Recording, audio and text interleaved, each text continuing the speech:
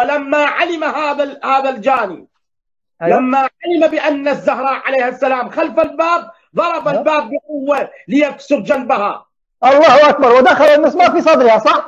مسمار المسمار دخل في صدرها صح؟ يعني هذا الذي حصل هذا أيوة. الذي حصل علي وين؟ علي وين كان جالس؟ علي وين كان جالس؟ إيش حده هو وخالد واللي معه يجرون ما, ما شاء الله علي وين جالس كان؟ وين علي؟ أما هذا الاعتداء فكان الإمام علي بن أبي طالب عليه السلام لأن القوم كانوا قادمين لقتاله أي علي وين؟ ليش ما قتلهم؟ ليش ما قتلهم؟ ليش ما قتلهم؟ القوم كانوا قادمين لقتل الحسنان ليش ما قتلوهم؟ اجتثاث أبناء ليش ما قتلوهم طيب؟ ليش ما قتلوهم؟ قتل الحسنان وين بنو هاشم؟ بنو هاشم وين؟ بنو هاشم بنو هاشم وين؟ بنو هاشم وين بنو هاشم؟ أن يحافظ الأنصار وين؟ صبر صبر صبر صبر صبر الأنصار وين؟ بنو هاشم وين؟ المقداد وأبو ذر وين؟ وين هؤلاء كلهم يا رجل؟ أيها المسلمون إن هؤلاء الجنات أرادوا أيوه؟ قتل الحسنان مع قتل ليش ما قتلوهم طيب؟ أرادوا قتل الحسنان مع قتل الزهراء سيد حيدر سيد حيدر أنت ترسل ولا تستقبل يا سيد حيدر ترسل ولا تستقبل يا سيد حيدر سيد حيدر لحظة لحظة لحظة لحظة لحظة لحظة لحظة مع الأسف. الآن سيد حيدر أصبح يرسل ولا يستقبل مع الأسف. حتى ولذلك ولذلك قال مولانا الإمام الحسين عليه السلام لما استشهد أيوه. أيوه. ابن أبي قحافة بدون سند كلام باطل بدون سند. طيب خليني أكمل خليني أكمل. الآن السيد آه، حيدر آه، آه، لما سألته سؤال جوهري أصبح يرسل ولا يستقبل لما أستاذ محمد ما كان في البث كان عنده اتصال فأنا ألزمته. أريد أن أحشره في هذه المسألة فصار يرسل ولا يستقبل. قلت له هل الرسول أمر علي بأن لا يدافع عن فاطمة؟ لأن هذه طامة كارثة. هل النبي يأمر بالقبيح يا جماعة؟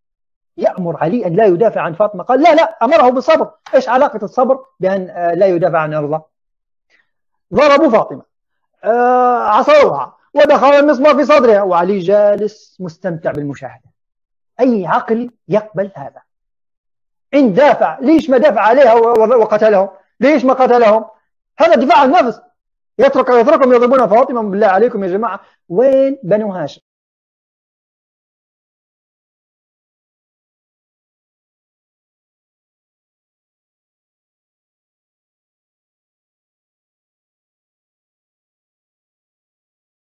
بسم الله والحمد لله والصلاة والسلام على رسول الله وآله وصحبه أجمعين حياكم الله جميعا ومرحبا بكم نواصل ما بدأناه حول موضوع كسر الدرع حول كسر درع فاطمة الزهراء رضي الله عنها ونلزم الشيعة بما هو مسطر في كتبهم. فبما أنهم لعبوا على حبل المظلومية وهذه المظلومية نتائجها انقلبت عليهم سلبيا فخرج منها معصومهم ضعيفا دليلا مهانا مدموما مخذولا مدحورا. قالوا أنه كان ملتزما بوصية رسول الله صلى الله عليه وآله وسلم بأن لا يحارب وأن لا يدافع على زوجته ويجلس يتفرج عليها وهي تقتل أمامه هو هي وابنه الذي في بطنها. فكما يقول المثل الشعبي جاء كحلها أعماها.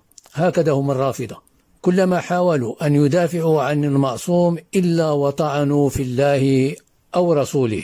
لكن لنذهب لكتبهم ونرى ماذا يقول علي رضي الله عنه في مثل هذه المواقف لأنه القدوة عند الشيعة. فهل المعصوم يقول شيئا وينصح به ويفعل عكسه لنرى ما سيقوله هل ينطبق مع قول شيعته أنه إمام معصوم عنده الولاية التكوينية ويملك سيف ذو الفقار أو ذو الفقار الذي نزل هدية له من السماء ويجلس يتفرج على رجال دخلوا بيته ويعتدون على زوجته حتى تسقط ما في بطنها وهو لا يحرك ساكنا.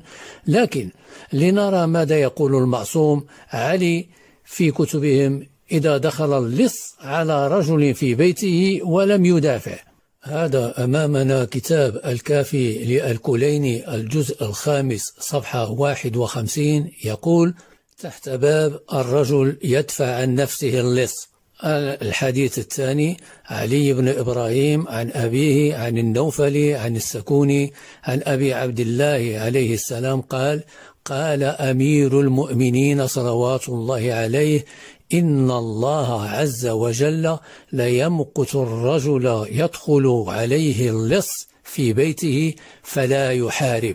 إن الله عز وجل ليمقت الرجل يدخل عليه اللص في بيته فلا يحارب. سبحان الله.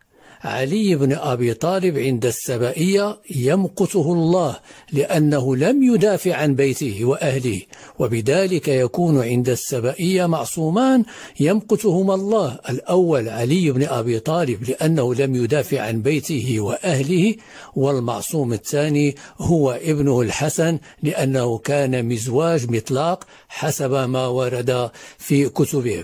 نواصل مع الحديث الثالث وبإسناده أن أمير المؤمنين عليه السلام أتاه رجل فقال يا أمير المؤمنين إن لصا دخل على امرأتي إن لصا دخل على امرأتي فسرق حليها. فقال أمير المؤمنين عليه السلام أما إنه لو دخل على ابن صفية لما رضي بذلك حتى يعمه بالسيف. حتى يعمه بالسيف. طيب هل علي يعترف أن ابن صفية أي الزبير أشجع منه لأنه يدافع عن بيته وآله؟ لأن في كتب الشيعة أيضا أن عليا هرب إلى العالية وترك ابن صفية أي الزبير يدافع عن فاطمة حتى كسر سيفه. إذا عند السبائية أن عليا هرب وترك ابن صفية يدافع عن فاطمة. وهذه من طوام الشيعة السبائية في حق علي رضي الله عنه. والآن لنقرأ ماذا يقول علي بن أبي طالب في هذه الرواية رقم أربعة. علي بن إبراهيم عن أبيه عن ابن أبي عمير عن أبان بن عثمان عن رجل عن الحلبي عن أبي عبد الله عليه السلام قال قال أمير المؤمنين عليه السلام إذا دخل عليك اللص المحارب فاقتله. إذا دخل عليك اللص المحارب فاقتله فما أصابك فدمه في عنقه. لنقرأ المهزلة التي توجد على الهامش رقم اثنين. يقول وقد مرت معنا ثلاث روايات. هذا الخبر يدل على جواز قتل اللص للدفع عن النفس أو المال كما هو المذهب كما هو المذهب. إذا علي بن أبي طالب ليس على مذهبكم لأنه لم يدافع. لم يدافع عن نفسه ولا عن زوجته ولا عن بيته. وقال الشهيد الثاني لا إشكال في أصل الجواز مع القدرة وعلي كان قادر ولم يفعل. وعدم لحوق ضرر والأقوى وجوب الدفع عن النفس والحريم. والأقوى وجوب الدفع عن النفس والحريم. وعلي لم, لم يدافع عن حريمه. مع الإمكان ولا يجوز الاستسلام وهو قد استسلم. فإن عجز ورجى فإن عجز ورجى السلام بالكف والهارب وقد وقد ذكرت بأنه هرب إلى العالية. علي هرب إلى العالية.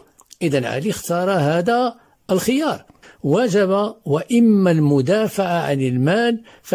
وأما المدافع عن المال فإن كان مضطرا إليه وغلب على ظنه السلامة وجب وإلا فلا.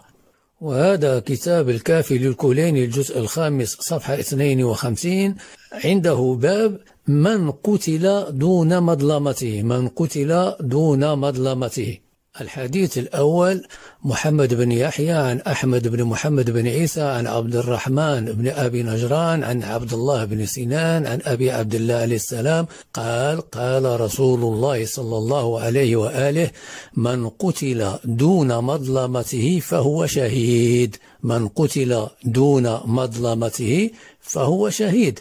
ثم يقول في الحديث الثاني وبهذا الإسناد عن أبي مريم عن أبي جعفر عليه السلام قال قال رسول الله صلى الله عليه وآله من قتل دون مظلمته فهو شهيد ثم قال يا أبا مريم هل تدري ما دون مظلمته قال جعلت فداك الرجل يقتل دون أهله ودون ماله وأشباه ذلك فقال يا أبا مريم إن من الفقه عرفان الحق وفي الحديث الخامس يقول عدة من أصحابنا عن أحمد بن محمد بن خالد عن أبيه عمن ذكره عن الرضا عليه السلام عن الرجل يكون في السفر عن الرجل يكون في السفر ومعه جارية ومعه جارية له فيجيء قوم يريدون أخذ جاريته أيمنع جاريته من أن أن تؤخذ؟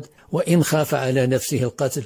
قال قال الإمام المعصوم نعم قلت وكذلك إن كانت معه امرأة قال نعم. قلت وكذلك الأم والبنت وابنة العم والقرابة يمنعهن وإن خاف على نفسه القتل قال نعم. قلت وكذلك المال يريدون أخذه في سفر فيمنعه وإن خاف القتل قال نعم.